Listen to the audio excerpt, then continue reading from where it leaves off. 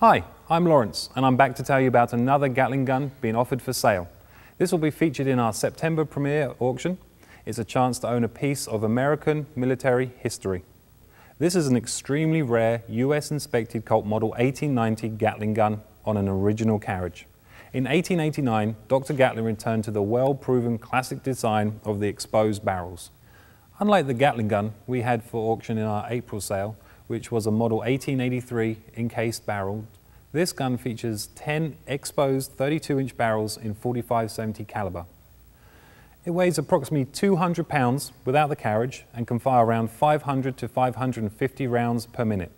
The breech end of each barrel is numbered 1 through 10 and has military inspector marks by Rinaldo A. Carr. The US government purchased only 18 Model 1890 Gatling guns in serial numbers 492 through 509. This gun, which will be featured in our September 7th, 8th and 9th premiere auction, is serial number 505 and it's marked number 14 of that purchase order. These were the last 45-70 caliber Gatling guns purchased by the US government and it's mounted on a barracks green painted carriage with iron banded wooden wheels.